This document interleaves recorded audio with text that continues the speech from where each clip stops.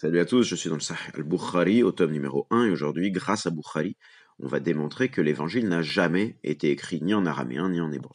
Je suis dans le livre du début de la révélation, dans le contexte, vous connaissez l'histoire, Mohammed commence à recevoir la révélation dans la grotte de Hira, et en rentrant il retrouve Khadija, qui euh, est un petit peu décontenancée et qui décide d'amener Mohammed chez son cousin Waraka.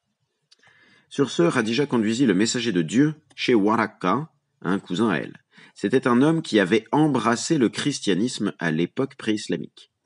Il savait l'hébreu et avait traduit une bonne partie de l'évangile en hébreu. Cette phrase est d'une importance capitale, merci à Bukhari de l'avoir rapportée, puisque qu'est-ce qu'on sait?